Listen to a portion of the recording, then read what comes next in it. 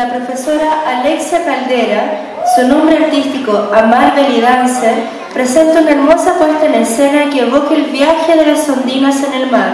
fantasía árabe del gran músico Isam Houshan, acompañada de su ballet Raksat Amar, en representación al estudio de baile Alex Lemus.